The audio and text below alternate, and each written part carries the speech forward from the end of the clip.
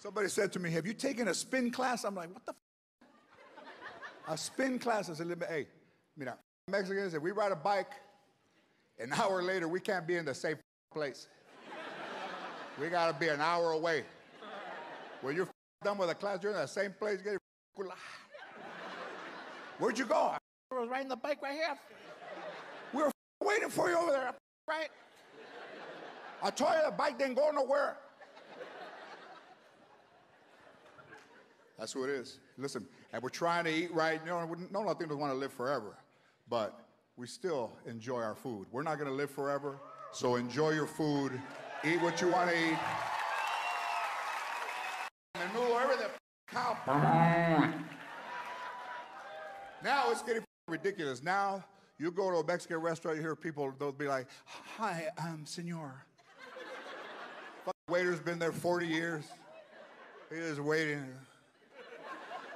Hi, these chicken tacos. Um, was the chicken humanely put down?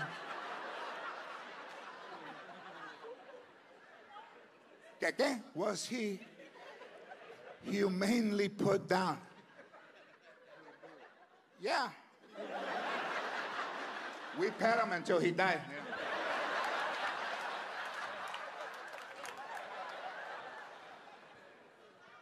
We're not trying to live forever.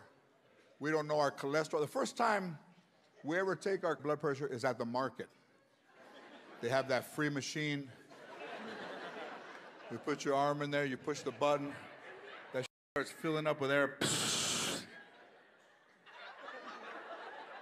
I. And when the number comes up, everybody's trying to look, hey, back away, that's my number. What is it? What it was last year? 280 over 125. It says I'm supposed to be dead, pero mira. I got a lot of to do. I can't be dead. We don't want to go to the doctor. We don't want to know. Now, I think the craziest thing in our culture right now is the gender reveal party. If white people could not be whiter, they have a gender reveal party where all the families around, they're like, pop the balloons, Dylan, Dylan. Latinos, we don't care pink or blue. Is it ours? Is it mine? Bring him over here. He better be darker when he gets over here because he looks pretty light over there. Don't get wrapped up in all that.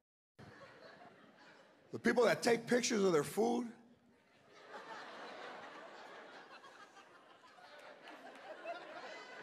at a restaurant and then send the picture to you. You're not at the restaurant. But they send the picture of the food to you. You're at home and you get a picture of a steak and you're not there. So get a picture of some caca, send it back.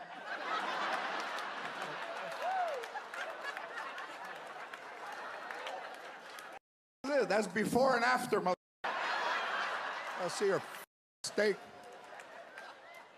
Then you send a picture of your palito. You're like, hey, that's for dessert. Anybody wants some?